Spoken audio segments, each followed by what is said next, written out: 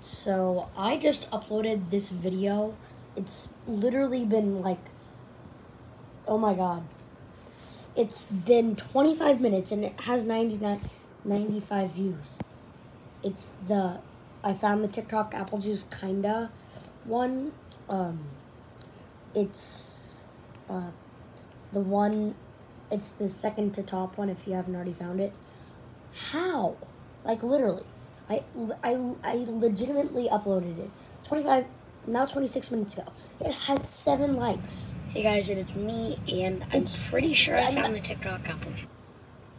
Eh, Huh? What? Oh my god.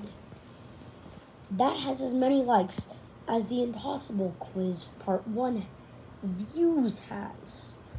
Like, what? I don't even know what I did.